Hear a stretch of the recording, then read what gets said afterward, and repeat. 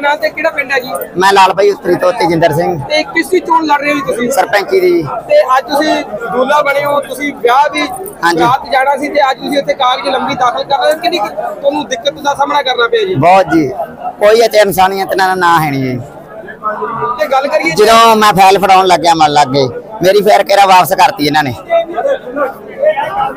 ਤੇ ਉਹਨਾਂ ਨੇ ਦੇਖਿਆ ਨਹੀਂ ਗਿਆ ਵੀ ਚਲੋ ਦੂਲਾ ਬਰਾਤ ਵੀ ਜਾਣੀ ਹੈ ਕੋਈ ਮਜਬੂਰੀ ਨਹੀਂ ਸਮਝੀ ਜੀ। ਬੜਾ ਸ਼ਹਿਰ ਦੇ ਵਿੱਚ ਨਵੀਂ ਜ਼ਿੰਦਗੀ ਦੀ ਸ਼ੁਰੂਆਤ ਕਰਨ ਹਾਂਜੀ। ਕਿਸ ਤਰ੍ਹਾਂ ਲੱਗ ਰਿਹਾ?